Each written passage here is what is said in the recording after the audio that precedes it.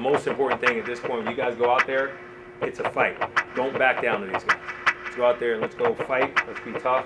Let's make it happen. Wow.